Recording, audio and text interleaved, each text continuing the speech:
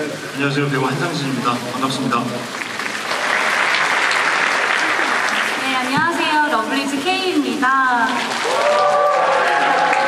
선배님은 대표 연예계 야구팀에도 소속되어 있고 또 알아주는 연예계 야구 덕후시잖아요. 이 자리가 되게 특별하실 것 같아요. 아, 오늘 어, 시상 수시로 오신 분들이나 여기 계신 모든 분들이 어, 야구를 굉장히 좋아하시는 분들인데요. 어, 제가 이렇게 골든글러브 시상식에서 시상자로 할 수 있게 돼서 진심으로 영광입니다. 저는 또 개인적으로 히어로즈 팬인데요. 그래서 히어로즈가 좋은 성적을 내서 내년에도 더 좋은 성적을 낼수 있도록 기원합니다. 오늘 야구 성덕이 되신 거네요. 또 그렇게 되나요? 네, 축하드립니다. 예, 어, 우리 러블리즈는 제가 시구하는 모습을 몇번 봤거든요. 아. 그래서 우리 야구 팬들이나 어, 야구인들이 굉장히 좋아하는 얼굴입니다. 아, 정말 감사하게도 저희가 시구를 한 다섯 번 정도를 했었는데 아쉽게도 저는 아직 한 번도 해보지 못했거든요. 제가 사실 인천 토박이에요. 인천의 딸이거든요.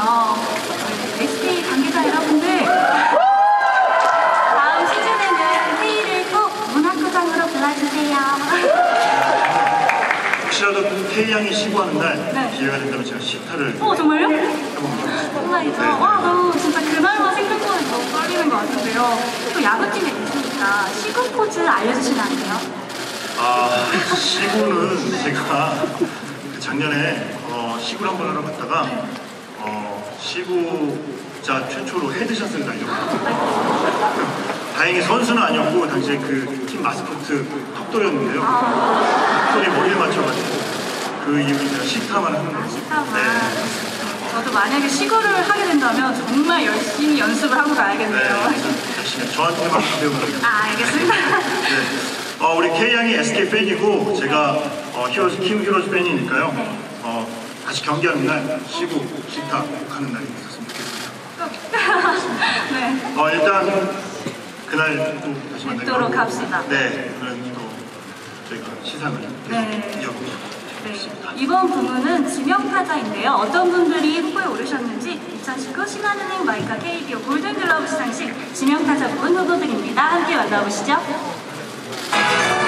지명타자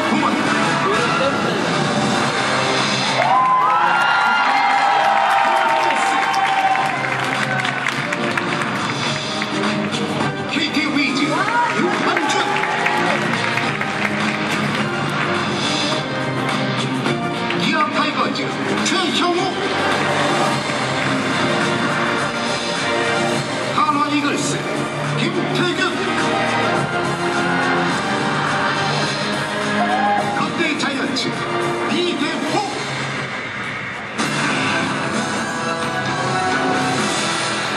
네, 어, 우리 다섯 분의 후보를 만나봤는데요. 어, 정말 다 너무나 실력이 대단한 선수들이라서. 네, 저희만큼이나마 많은 분들이 궁금해하십니다. 우리 K양이 직접 한번 해주시죠. 그럼 제가 힘차게 발표를 해보도록 하겠습니다. 2019 신한은행 마이카 KBO 골든글러브 시상식 지명타자 부분 수상자입니다.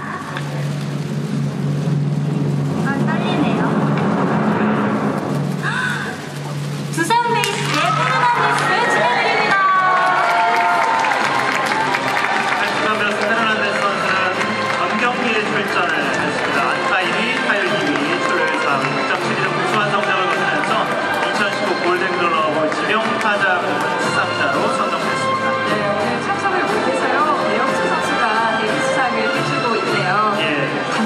감사합니다. 수상 소감도 부탁드릴게요.